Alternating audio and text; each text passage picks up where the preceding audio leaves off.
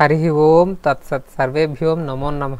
బాలీవుడ్ అనేది ఒక ముస్లింలు ప్రత్యేకంగా పెంచి పోషించినటువంటి పరిశ్రమ అని చెప్పేసి నాకు ఇన్ని రోజులు తెలియదండి ఏదో బాలీవుడ్లో కొన్ని చాలా వరకు ఎక్కువ సినిమాలు హిందువులకి వ్యతిరేకంగా హిందూ దేవుళ్ళను దూషిస్తూ హిందూ సంప్రదాయాలను అవహేళన చేస్తూ సినిమాలు తీస్తున్నారు. దీనికి కేవలం కొంతమంది రచయితలు డైరెక్టర్లు మరియు నటీనటులు కారణం అని నేను అనుకున్నాను. కాదు అని చెప్పేసి బాలీవుడ్లో చాలా రోజుల నుంచి అనేక సినిమాల్లో నటించినటువంటి ఒక మహా మేధావి గారు చెప్తున్నారు. ఆమె ఎవరో కాదు స్వరా భాస్కర్.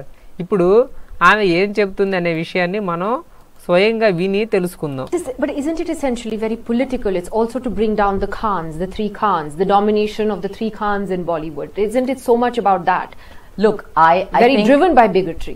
ఇప్పుడు ఆమె అడిగిన ప్రశ్న ఏమిటంటే బాలీవుడ్లో ముగ్గురు ఖాన్లు ఉన్నారు.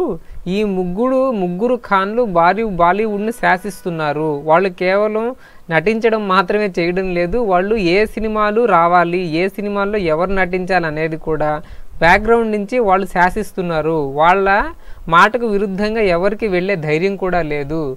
మరి అటువంటి ఈ ఖాన్లను బాయ్కాట్ చేయమంటూ ఈ మధ్య ట్విట్టర్లో ఒక ఉద్యమం అనేది నడుస్తూ ఉంది. ఈ ఉద్యమం అనేది కరెక్టా కాదా అని యాంకర్ ప్ర- ప్రశ్నిస్తూ ఉంది. ఇప్పుడు ఆమె ఏం it చెప్తుంది? is driven by um, an agenda for sure.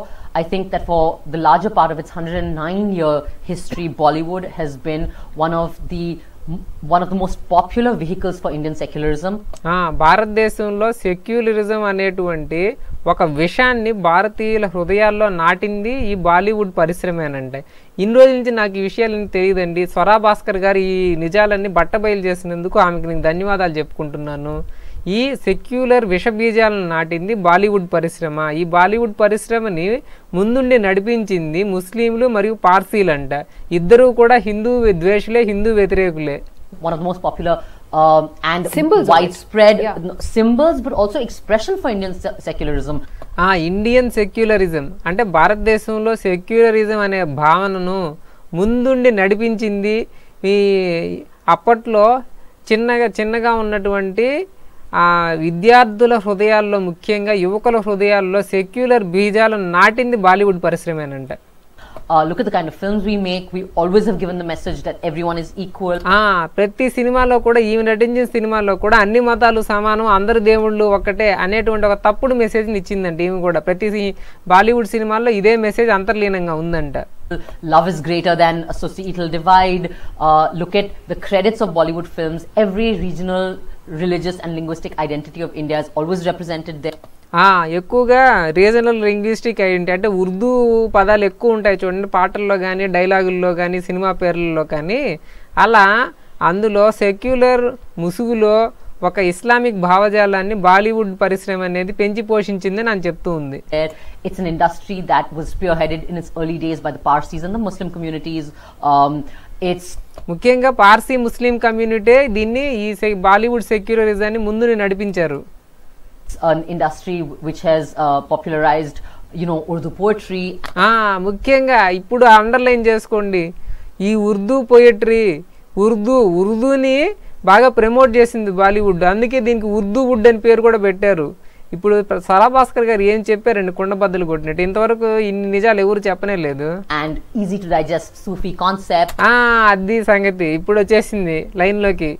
Urdu ur- Urdu భాషని ప్రమోట్ చేయడమే కాకుండా ఉర్దూ పదాలని హిందీలో కలిపి కలగాపులగం చేయడమే కాకుండా సూఫీ మతోన్మాదాన్ని రంగరించి పోసారంట బాలీవుడ్లో. ఇది మాత్రం హండ్రెడ్ పర్సెంట్ కరెక్ట్. ఎందుకంటే బాలీవుడ్లో బచ్చన్ కావచ్చు అందరూ క- కపూర్లు ఆ హిందువులు ప్రతి ఒక్కరూ కూడా సినిమా రిలీజ్ అయ్యే ముందు మీడియా వాళ్ళందరినీ పిలిచి వాళ్ళు నిజాముద్దీన్ దర్గాకి వెళ్ళేసి ఆ కుళ్ళిన శవానికి చలి పుట్టకుండా అది కంపు కొట్టకుండా దుప్పట్లు గప్పొస్తారు దీన్ని ఒక పెద్ద సీన్ చేసి అప్పుడు మీడియాలో ప్రచురించేవాళ్ళు. అప్పుడు దీనివల్ల వాళ్ళని ఫాలో అయ్యే ఫ్యాన్స్ అందరూ కూడా వాళ్ళు కూడా దర్గాలకు వెళ్ళి వచ్చేవాళ్ళు ఇలా ఆ దర్గాలు పాపులర్ అయిపోయాయి. ఇదే సూఫీయిజంని ప్రమోట్ చేయడము దర్గాల్లో. సూఫీయిజం అంటే ఏం లేదు. కుళ్ళిన శవాలకి దుప్పట్లు కప్పి రావడమే Sufism Uh, and it's it's very diverse in an organic way. And ఆ, అది వెరీ డైవర్స్ మరి దేవాలయాల గురించి దేవుళ్ళ గురించి ఎక్కడైనా గొప్పగా చెప్పారా? ఎక్కడా చెప్పలేదు. ఏదో హిందువులు తీసిన ఒకటి రెండు సినిమాల్లో చిన్న చిన్న సినిమాల్లో తప్ప మెయిన్ మెయిన్ స్ట్రీమ్ బాలీవుడ్ మూవీస్లో ఎక్కడా కూడా హిందూ దేవుళ్ళని అవమానించడం తప్ప గౌరవించడం ఒక్క సినిమాలో కూడా లేదు That's a big problem for any kind of an agenda that wants to push for a more saffron kind Or of majoritarian. a majoritarian identity. అది ఇప్పుడు ఫైనల్గా అని చెప్పేసింది ఈ బాలీవుడ్ సినిమాల్లో ఈ బాలీవుడ్ సినిమాల్లో ఉండే ఈ కాన్లను బ్యాన్ చేయాలని కాన్లను బాయ్కాట్ చేయాలని ఉద్యమం నడిపిస్తుండేది తిరిగి వచ్చేసింది ఎటు తిరిగి బీజేపీ మోదీజీ ఆర్ఎస్ఎస్. వీళ్ళు నిద్రలేస్తే ఈ కమ్యూనిస్టులు అందరూ ఈమె కరుడు కట్టిన కమ్యూనిస్ట్ అండి. ఈమె ఉదయం లేనిదే ఉదయం లేస్తే జై స్టాలిన్ అంటుంది రాత్రి పడుకునే ముందు జై మావో అంటుంది ఈమె అంత కరుడు కట్టిన కమ్యూనిస్టు జేఎన్యూ ప్రోడక్ట్ ఈమె. ఈమె ఒక చాలా కరుడు కట్టిన communist.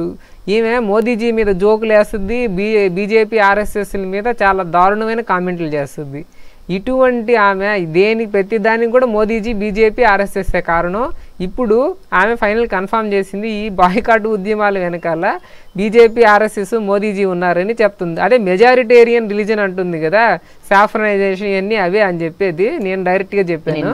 So you have to obviously delegitimize and discredit the most popular vehicle for Indian secularism if you want to di- discredit Indian secularism, right? That's why Bollywood is being targeted. How are you బాలీవుడ్ని ఎందుకు target చేస్తున్నారంటే ఇది సెక్యులరిజంని promote చేస్తుంది కాబట్టి అది మంచిదే కదండి. ఇప్పుడు ఆ సెక్యూర్ తప్పుడు సెక్యులరిజంలో భారతదేశం నాశనం అయిపోయింది.